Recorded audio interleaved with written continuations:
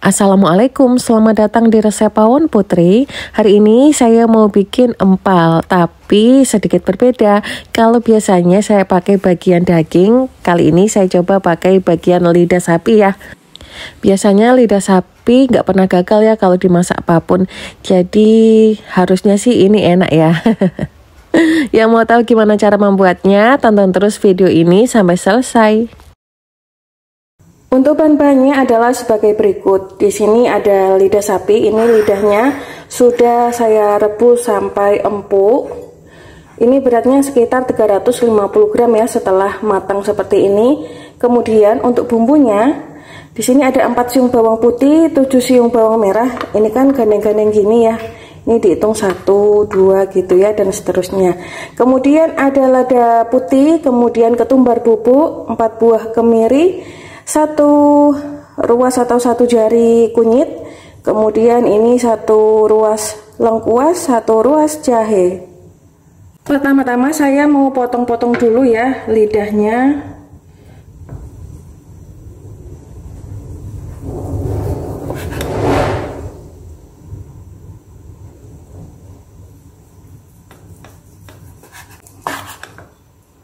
Ini lidahnya sudah empuk sekali ya berikutnya saya mau gepuk seperti ini.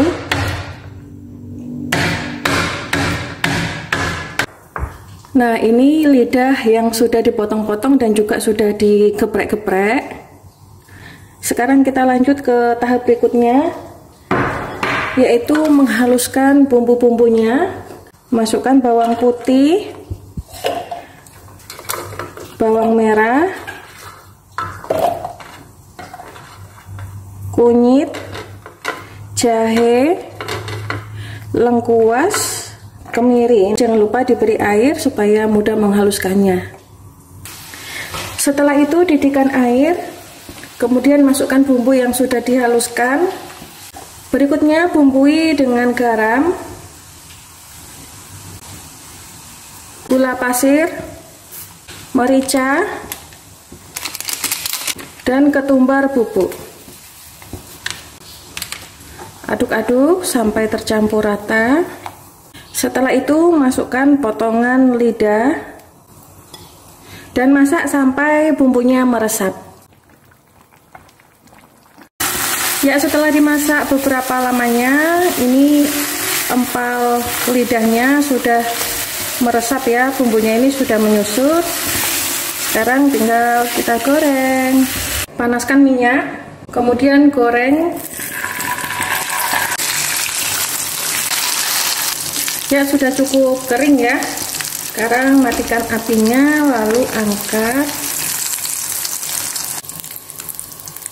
Nah ini dia empal lidah sapi ala resep Pawon Putri sudah jadi. Terima kasih sudah menonton video ini sampai selesai. Semoga resepnya bermanfaat. Dan sampai ketemu di resep-resep berikutnya